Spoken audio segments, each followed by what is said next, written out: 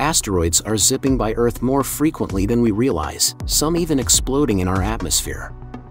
But the real showstopper is Apophis, a colossal asteroid over 1,100 feet wide, set to pass within 32,000 kilometers of us on April 13, 2029. That's closer than some satellites. Imagine witnessing it with the naked eye, it's terrifyingly close. While astronomers assure us it won't collide with Earth, its trajectory could be altered by another asteroid. If it were to hit, we'd be looking at a 5 kilometer wide crater, devastating tsunamis, and a shockwave flattening everything in its path. The aftermath?